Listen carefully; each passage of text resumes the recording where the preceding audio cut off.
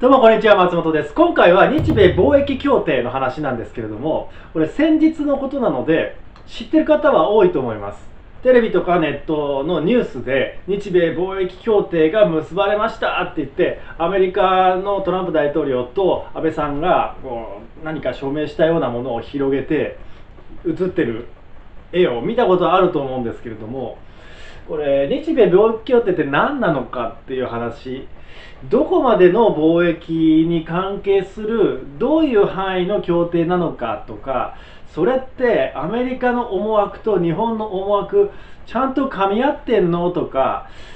今年から動き出している TPP との関係はどうなってるのとかいろいろとわからない点も多いと思うんですよ。ですので今回は日米貿易協定とは何ぞやこれって TPP とどう関係があって日本とアメリカとの関係は今後どうなっていくのかなっていうような話も含めてごくごく簡単に解説していきたいなと思います。まず日米貿易協定っていうものを話をする前に TPP のことを先にお話ししないといけないんですけれども TPP っていうのは環太平洋連携協定って言って太平洋を取り囲む国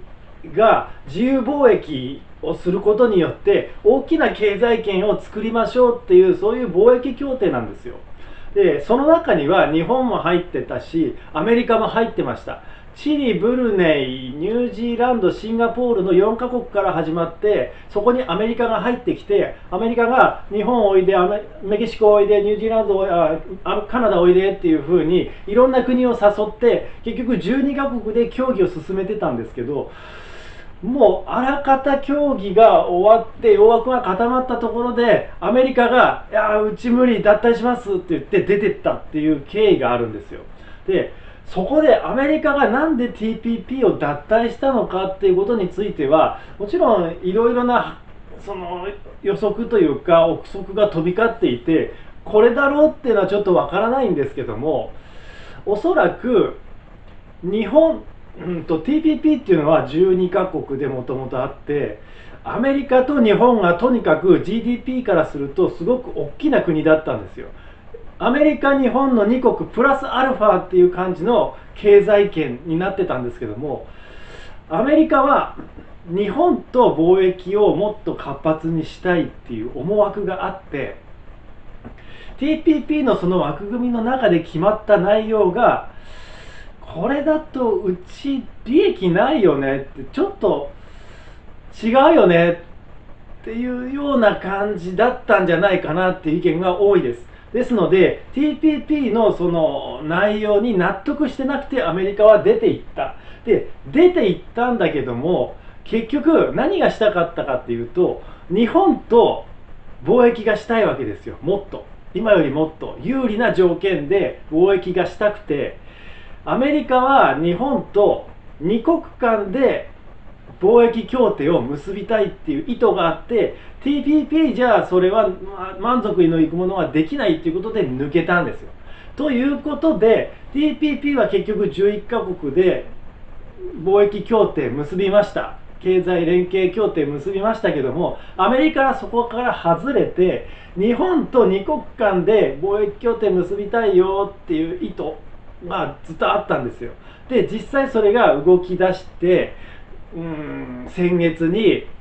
まあ、署名したっていう流れがあるんですね。じゃあ今回その署名した日米貿易協定ってどんな枠組みどこまでの貿易の自由化が進んでいるかっていう話で言うと TPP は結構いろんな本当ありとあらゆるものの貿易の自由化をしている協定なんですけども今回の協定に関してはかなり狭い範囲です。言ったら物品のみの貿易協定を結びましたっていう枠組みでうん例えば TPP が経済連携協定っていういわゆる EPA って言われてるありとあらゆる貿易を自由化しましょうっていう枠組みの中のごく一部自由貿易協定って言われてる FTA って言われてるものがあってこれは物品とサービスこの2つに関しての自由貿易をしますっていう話なんですけどもそこからさらに物品に限って貿易協定結びましょうよっていうのが今回の日米貿易協定なんですよ。だからかなり狭い範囲で今回は約束事を取り交わしたわけです。でこれは実際はアメリカ側としてはいや今回のは FTA でしょって言ってて日本はいやいや物品貿易協定なんですよっていうふうにちょっと意見が食い違いがあるものの最終的にはやっぱりアメリカは自由貿易協定に持っていきたいですしさらにはもっと大きな範囲でいろんな取り決めを貿易の自由化をしたいなとは思ってるんですね。それは書かれてますいろいろとで日本としてはじゃあなんで TPP の枠組みの中でアメリカがいる中で12カ国で TPP やりたかったかっていう話で言ったらアメリカと1対1で貿易協定を取り交わすっていうのはやっぱ怖いなっていうところがあるんですね。過去これまでに日米和親条約とか日米修好通商条約とかっていう不平等条約を結ばされてきたっていう歴史があって今回も日米貿易協定で2国間でやっちゃうと多分負けるだろうなっていうのがあらかた予想はついてたからじゃあ TPP の枠組みの中で他のたくさんの国がいる中で協議を進めればアメリカもそんなに無理なことは言えないだろう割とマイルドな自由貿易になるんじゃないかなっていう思惑で日本は考えてたんですけどもそれが叶わなくて結局2国間で取引するようになってで今まずまずはです。まずは TAG と言われている物品貿易協定っていうものが今回結んだ結ばされたっていう感じなんですよ。アメリカっていうのはなんだかんだ言ってやっぱり世界ナンバーワンなわけでドラえもんの世界で言ったらジャイアンなんですよ。でジャイアンと1対1でやっぱり交渉事するっていうのはちょっと無理があるのでだったら教室の中で他の生徒がみんないる中でまあ話し合いをして一つ揉め事を解決しましょうとか約束事を決めましょうっていうふうに日本としてはしたいわけですよ。でもジャイアンとしてはちょっとおいで日本をちょっとおいでって言ってもう別のところに誘って2人で例えばトイレの中で2人でやり取りをして約束事を決めたいっていうふうにジャイアンとしてはそういうふうに考えてるっていうところがあるのでその辺りのやり取り日本はたくさんの中で約束事を決めたい。ジャイアンとしては、えー、とアメリカとしては2国間でやり取りをしたいっていう思惑。この辺のちょっと食い違いがあって今回に関して言うと、まあ、この協定を結ばされたっていう意味では結ばされたっていう意味においてはジャイアンにしてやられたなっていうそんな感じなんですよ。じゃあ実際にその交渉の中身どうなったかっていう話なんですけれどもこれも TPP の中身をちょっと説明しないとわからないとは思いますけれども今回省略します。TPP については40分動画1つ上げてますのでリンク貼っておきますのでまたそっち知りたい方は見てもらったらいいんですけども基本的には TPP で決められた貿易自由化のその枠組み関税をどれぐらい撤廃しますよっていうそれに大体沿ってます。TPP の範囲内でそれよりは少し小さい形で今回合意を取り付けてるっていうところでその TPP よりも低い水準で合意を取り付けたっていう意味では日本はよしやった勝ったぞみたいな感じでは言ってるんですが実際はそんなこともなくて確かに TPP の枠組みに近いです。一番大きい焦点になっているポイントっていうのが牛肉の取引が今関税38.5%かかってますけれども16年目には9%まで下げますよ。豚肉は、まあ、いくつか種類あるんですけども1キロあたり482円かかってる関税を、うん、これ何年後かちょっと忘れましたけども50円まで下げますよっていうような関税の撤廃というかまあ、引き下げっていうものがあってこれは TPP とほぼ同じなんですよ。で他の品目についても大体 TPP と同じなのでまあその辺が日本としてはなんとか守ったぞっていうところがあってただ日本の思惑としては車をもっとアメリカに売りたいんですよ。主力商品なので。で今現在2.5%の関税がかかっててそれをまあ撤廃してほしいなっていうような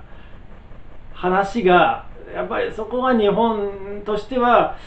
攻めどころなわけですよ。でアメリカとしてはいやいやいやいや日本の車輸出しすぎでしょってうち貿易赤字だから日本と。だったら関税もっと引き上げよっかなみたいなことをアメリカ側は主張してるわけですよ。でその主張は勘弁してくれっていうのが日本の言い分でいやせめてちょっとせめて維持させてくださいっていうところで今止まってるんですよ。できればゼロにしたいけども上げられるともっと困るからとりあえず農業を人質として差し出しますので車はちょっと継続してさらに協議を進めさせてくださいよっていうのが今回の貿易協定の、まあ、焦点になってるところなんですね。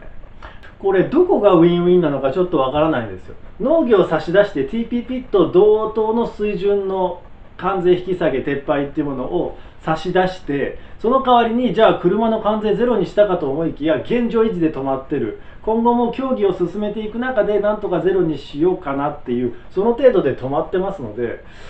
負けてるよなっていうところがやっぱりあってこれはもう本当に過去の歴史通り今回も日本とアメリカとの間ではやっぱり日本ちょっと負けてるなってどうしてもかなわないなアメリカにはっていう状況今回も再現してるような感じです。で自動車の関税について継続協議になってるっていう話でも分かる通り日米貿易協定っていうのは今現在の署名で終わりではないんですよ。これがスタート地点なんですね。ここからさらに協議を重ねていってさらに貿易の自由化ってものを進めていきましょうっていう話になっているので今後も第2回第3回協定結ばれます。どんどんどんどん話が進んでいきます。その時に今現在物品貿易協定で済んでるけれどもそこからさらにサービスに関係する運送とか金融とか通信流通に関係するサービス全般でも貿易の自由化っていう枠組みを壁を取っ払うっていう流れが絶対来るはずなんですよ。でそっからさらにもっとさらに多くの事柄ちょっと言いませんけども多くの事柄 EPA とか TPA TPP って言われてるような大きな枠で二国間協定っていうものが進んでいくとこれ日本もおしまいアメリカにしてやられましたみたいな話になってくるのでそれは避けたいなっていう日本の意図日本政府の意図っていうものはもちろん読み取れはするんですけども多分話進んでいくとこれは無理だよなっていうところが